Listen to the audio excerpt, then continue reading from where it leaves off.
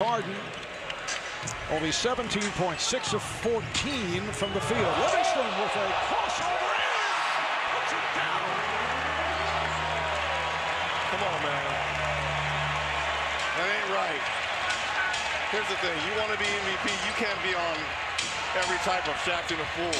Move by Shaun Livingston. The Western Conference Finals on TNT.